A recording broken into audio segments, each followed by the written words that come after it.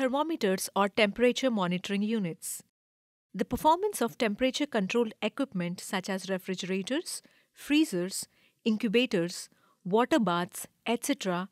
have to be monitored routinely as it influences integrity of specimens, reagents and test methods which impact the accuracy of results.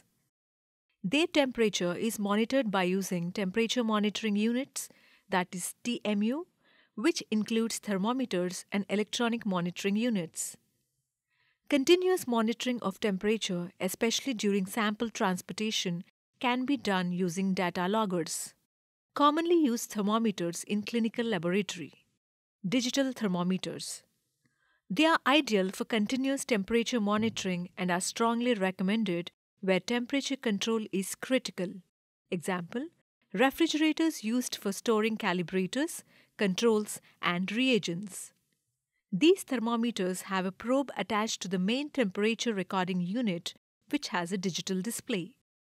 The probe is placed in the area where temperature has to be recorded, while the main unit is placed on the outer surface where the temperature can be read and monitored. The spatial distribution of temperatures throughout the load space of temperature controlled equipment should be checked by placing the probe in different points. Glass thermometers. One of the most common types of laboratory thermometers is the liquid expansion thermometer. In this type of thermometer, an expansion liquid, usually mercury or alcohol, fills a glass bulb attached to a long stem with a uniformly bored expansion column. When heated, the liquid expands up the bore until the bulb reaches thermal equilibrium with the material whose temperature is being measured. These thermometers have markings along the stem. The minimum readings of the temperature is 0.1 degrees Celsius for general purpose laboratory thermometers.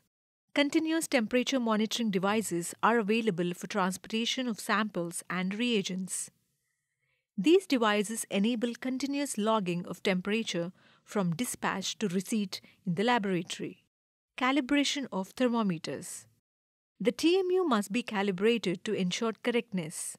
The calibration interval of a thermometer is once a year. The thermometer must be checked against a calibrated reference. The checks must be at sufficient points to cover the expected working range. A label denoting the serial number of thermometer, date of calibration, and correction factor, if necessary, is placed around the top of the corresponding thermometer. In house calibration. A certified traceably calibrated reference thermometer can be used to compare the thermometer to be calibrated. Both are immersed in a suitable liquid bath and the readings of the thermometers are compared. The calibration temperatures should cover the range which is used in the temperature measurement. Maintenance of thermometers 1. The external surface of the thermometers, especially the probe and the bulb, must be cleaned daily with a soft cotton cloth. The batteries of the digital thermometer need to be replaced on a regular basis as advised by the manufacturer.